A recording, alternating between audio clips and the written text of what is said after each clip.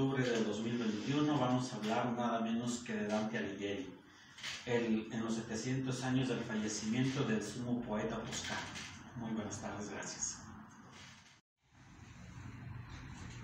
Hola, buenas tardes.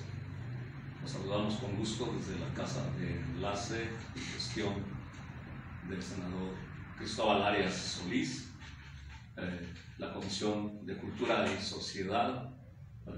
Nos permitimos anunciar el reinicio de las actividades que durante varios años se han venido desarrollando en este espacio y que bueno, por cuestiones sabidas por todos, como ha sido lo de la pandemia, uh, uh, tuvieron que adoptar otra modalidad y hubo un espacio eh, que ahora lo estamos ya este, eh, dejando de lado para reiniciar esta importante labor que nos permita difundir las actividades artísticas, culturales, académicas, educativas, que pues mucha gente valiosa, muchos artistas, eh, académicos, eh, intelectuales, han pasado por este espacio aportando sus valiosos conocimientos, sus aptitudes artísticas e intelectuales.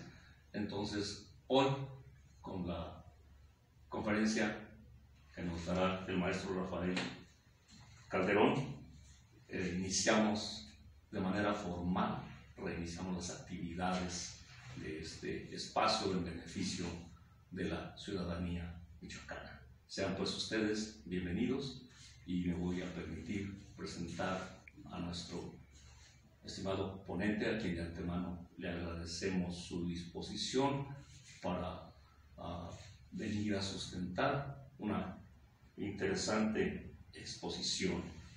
El maestro Rafael Calderón nació en Morelia, Michoacán, en 1976.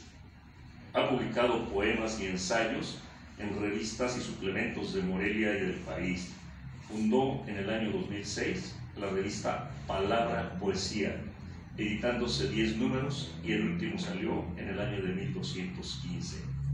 En el 2008 ganó el Premio Estatal de Poesía Carlos Eduardo Turón por su libro La región de las obras, Titanjáfora, Morelia 2008, que anualmente convoca a la Secretaría de Cultura de Michoacán. Es autor de compilaciones como Nostalgia de lo presente de Concha Urquiza, editorial Titanjáfora 2013, El reposo del fuego y otros poemas de José Emilio Pacheco, edición de la Secretaría de Cultura de Michoacán en el año 2014, y es coautor de Deber de Plenitud, la Universidad Michoacana y la Ciudad de Morelia, 1917-2017, que fue publicada en el año de 2018, donde se incluye su texto Alfonso Reyes entre nosotros, tres visitas a la Universidad Michoacana. Sus ensayos y trabajos se publican con regularidad en el suplemento La Gualdra de la Jornada Zacatecas. Bienvenido, maestro Rafael Calderón, y adelante. Gracias, buenas tardes, gracias, gracias, Orlando, gracias, Juan, gracias. La verdad es que eh, el día que Juan me llamó, me invitó a, a que platicáramos un poquito de este tema o de un tema relacionado con la literatura, a mí me, me sorprendió, pero a la vez me dio mucho gusto recibir su llamado. En primera, porque ustedes este, han hecho una labor pues muy afortunada para la cultura en Michoacán desde un espacio como es la Casa de Enlace del senador Cristóbal Arias Solís. Y a mí en lo personal me, me entusiasma esta idea de participar ya posterior a todo el debate electoral, ya eso quedó atrás y uno que está inmerso en las letras siempre le va a interesar hablar de lo que a la literatura de ciertos autores o recordar algunos por su centenario, por sus diferentes circunstancias.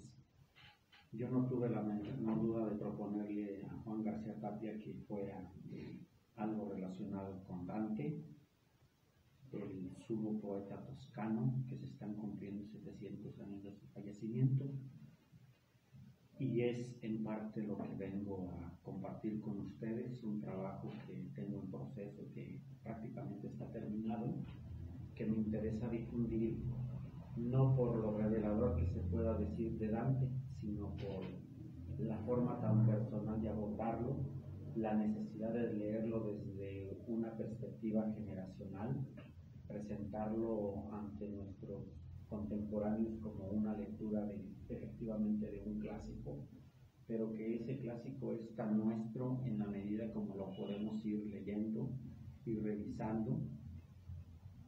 También es obvio tener conciencia de que hay ciertas publicaciones históricas o emblemáticas que se han hecho de su obra. Algunas han circulado por la ciudad de Morelia, otras son casi imposible encontrarse y en relación a todo ello es que yo a mí me quise llevar un resumen más o menos, pues que determine ese parámetro. Por ejemplo, hace muchos años yo me encontré esta edicióncita de, de Dante, que quiero mostrar aquí antes de pasar a la lectura del texto. Esta es una edición de 1865 esta edición indicó, es la que se publicó hace dos años para conmemorar los 700 años de su muerte. Pero hace 50 años, eh, Bellas Artes publicó esta revista. Y esta revista se vuelve muy emblemática porque en ella vienen algunas traducciones, nada menos que de un michoacano, Homero Avilés. Eh, al, al presentar estos tres textos de diferentes fechas, uno de 1865, otro de hace dos años para conmemorar el tiempo actual y el otro de hace 50 años para recordar a Dante en 1965, pues son muy referentes para lo que ahora aquí yo quiero compartir con ustedes de manera muy personal, eh, una lectura que por supuesto tiene que ver con todos estos ingredientes y algunos otros, a la manera de José Emilio Pacheco yo creo que ya no podemos inventar nada de lo que se pueda decir de Dante, pero sí podemos exponer o dar nuestro punto de vista particular y esa es la idea o eso es lo que venimos a compartir. Yo mi texto lo he titulado Dante Alighieri, 700 años del fallecimiento del poeta toscano. Lectura a partir de las traducciones de Homero Alighieri, fragmentos de la comedia y de la vida nueva. Por supuesto no voy a leer las, todas las traducciones de Homero Alighieri, daré unos ejemplos y quienes quieran buscar pues puede ir a esta antología o alguna otra edición más reciente. Entonces, pues damos inicio. Para referir la presencia de Dante, poeta, diplomático y político sobre todo, por un mínimo testimonio a obras fundamentales de su autoría como la importantísima es la lectura e ir a las páginas de estudiosos. En primer lugar, tener presente las traducciones y el análisis realizado por Ángel Texto. Para estos días, ya clásica y memorable, la traducción de José María Nicó y continuar con lecturas ya clásicas como la de Jorge Luis Borges, que es un legado imposible de ignorar en lengua española, las de Teresa algo similar en lengua inglesa, y proseguir ese orden para acceder al encuentro una y otra vez del poeta legado en la literatura de Occidente. 50 años. La serie de lecturas y traducciones en lengua española nos llegan por diferentes ediciones que asombran o perduran. Una huella de gran aliento y de rigor para mantener presente al autor como sucede en las páginas de un título clásico como Mimesis. Así pues, estamos ante un círculo cercano y gozar la unidad de su poética. Así nos lo hace visible la serie de reflexiones críticas como las de Boccaccio, Borges, Seferis, Eliot o las mismas traducciones de Crespo y Bucó. Casi todo sucede por el efecto que gira alrededor de dos horas, la comedia y la vida nueva. ¿Es poco? No. Con estos ejemplos nos rodea ya un mundo dantesco casi imposible de resumir, pero por estas obras se nos permite llegar a sinopsis tal vez apresuradas pero contundentes y contestar la pregunta, ¿quién es Dante en la poesía del orbe occidental? El primer resumen es celebrar la lectura de fragmentos de algunos cantos del infierno que traduce Homero Aretis y que publica la revista de Bellas Artes allá por el año de 1965, incluidos hoy día en una antología de poetas mexicanos traductores y aclarando que es imposible realizar su lectura porque desde entonces Aridis entrega sus versiones y son un punto de partida para ir a la obra completa, pero exaltando la brevedad de los párrafos vertidos al español, son la huella perdurable estos versos quedan como evidencia del encuentro de, un verdadera, de una verdadera sonoridad poética. El entonces joven poeta mexicano apuesta a dejar en sus versiones un registro, un resumen precoz y lanza la invitación a seguir la senda, salir al encuentro del autor y leer la senda de toda la obra por nuestra cuenta. Para completar esta referencia casi obligada, podría ser que suceda con las traducciones de la comedia de Crespo y de Nicó como algo vivo indistintamente, más de la segunda que la primera, por ser traducción reciente y se vuelva una edición muy fresca y en movimiento. La guía o redondeo está en la síntesis que, que es reflexión crítica y es ofrecida por la tesis de Máximo Macari en su Dante y la Divina Comedia. ¿Qué más?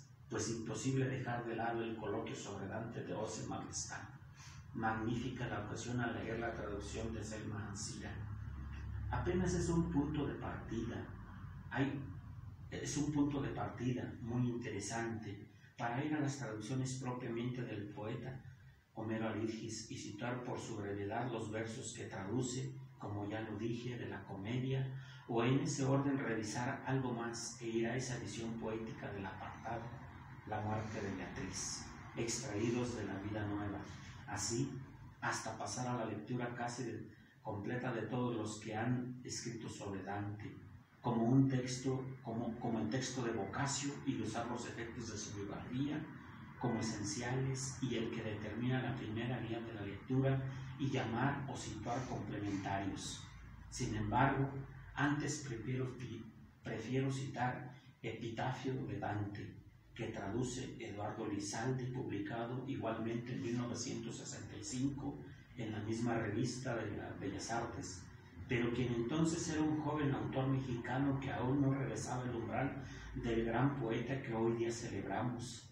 Este epitafio es parte de la huella que contribuye o, o sintetiza la biografía sobre Dante. Dicho soneto se lee así. Dante Alighieri soy Minerva oscura, arte, y cuyo ingenio la elegancia materna se une signo que por mi milagro natural se tiene. Mi fantasía pronta, alta y certera, viajó del tarro al celeste reino, y mi noble poema volvió digno de temporal y espíritu lectura. Fue mi madre Florencia la gloriosa, madrastra en fin de su piadoso fillo, culpa de lenguas sucias y perversas. Ravenna fue el albergue de mi exilio, tiene ella el cuerpo, el alma sumo padre, cerca del cual no prospera la envidia. Hasta completar la búsqueda de la, de la biografía sobre Dante por una lectura que es aleccionadora con mejor precisión y a la vez amplio fragmento de la crónica Giovanni Vignili en donde se refleja el resumen que perdura desde aquel lejano tiempo que ya es brillante, dice ese texto de Giovanni. Existiera en nuestra lengua antes y después de su tiempo. Escribió en su juventud el libro de amor La vida nueva y luego en el exilio compuso cerca de 20 canciones morales y de amor muy excelentes y entre otras escribió tres nobles epístolas, una la mandó al gobierno de Florencia, doliéndose de su exilio sin culpa, otra la mandó al emperador Enrique cuando se encontraba en el sitio de Grecia, reprochándole su demora y casi profetizando. La tercera a los cardenales italianos cuando se habían producido la vagante de la muerte del Papa Clemente, para que acordaran elegir un Papa italiano. Todas estas cartas, escritas en latín, en noble estilo y con excelente y autorizadas sentencias, las cuales fueron muy comentadas por los sabios entendidos, y compuso la Divina Comedia, donde en pulida rima y con grandes y simples cuestiones morales, naturales, astrológicas, filosóficas y teológicas, con bellas y nuevas figuras, comparaciones e imágenes, compuso y trató cien capítulos, es decir, cantos, al haber estado en el infierno, purgatorio y paraíso.